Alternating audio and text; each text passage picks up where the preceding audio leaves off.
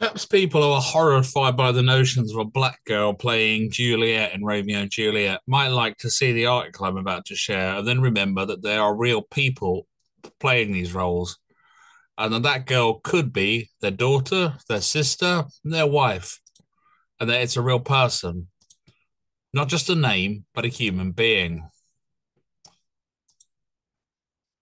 Romeo and Juliet, hundreds show support for actress abused online. Now, I've seen some of the stuff that's been seen sent to this young lady, Francesca Widow Rivers, and some of it's absolutely vile. I wouldn't read it out because if I was to start reading it out and kept it up for a bit, YouTube would probably ban me because I think I was supporting it.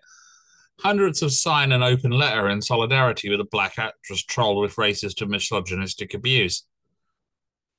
This young lady was tired online after she's casted Juliet in a new production with Tom Holland.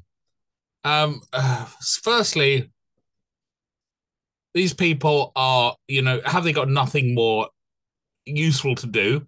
Secondly, if they don't want to watch the play, fine.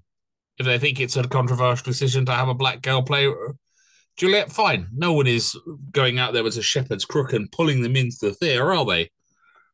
Um, I find the whole thing bizarre. That the whole thing should be judged on our acting skills. We are talking about the concept of acting. I doubt anyone playing uh, in The Tempest is actually a magician, for example, or that or a monster, or I, I'm sure the Merchant of Venice has had Shylock played by many people who are not Jewish. It's called acting for a reason. I can think of numerous twists on Romeo and Juliet that use black, white, Chinese people, or even mix up stories.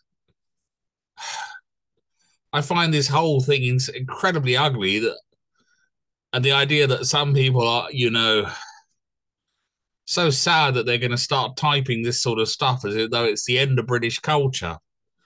The problem with it is the same people will be typing about, oh, it's disgusting, a black girl playing Juliet are the same sort of people who will be then telling us next week, black people, they don't go to museums that lot. And they don't see the cognitive dissonance between the two.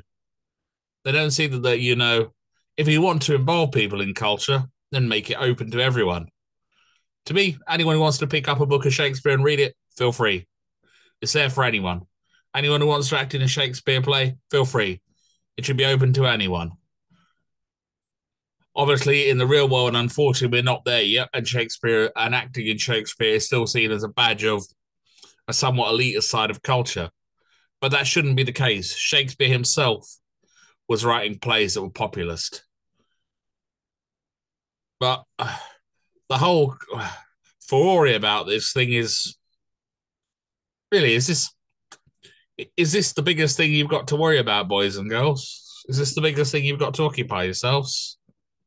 Um, um, are you having a bubble? Are you off somewhere in some other space inside your heads? Is all I have to ask. I just I can't get the fury about it. I just can't grasp it in any way. If you didn't think she could act well, I might even be able to understand that, but it's the same as the fury about, oh look, they've got a black boat playing Doctor Who now. And it was like, yes, and so what? That was my uh, reaction to that, and it's more or less my reaction to this. Yes. So what?